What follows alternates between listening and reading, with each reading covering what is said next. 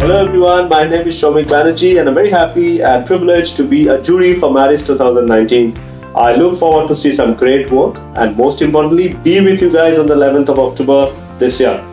Uh, as a marketer, I always look for work that works but at the same breath I understand it's not easy to do for a mobile screen. Uh, I look forward to see some great work done and most importantly learn from them. Uh, see you soon.